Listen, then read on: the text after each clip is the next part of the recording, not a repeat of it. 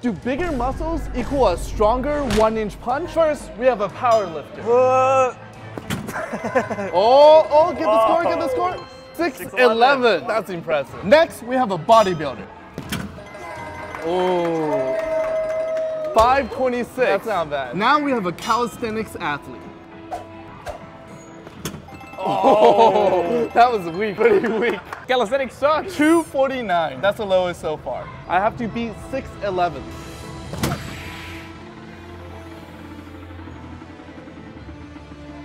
Seven twenty-two. Whoa. I guess size doesn't mean everything.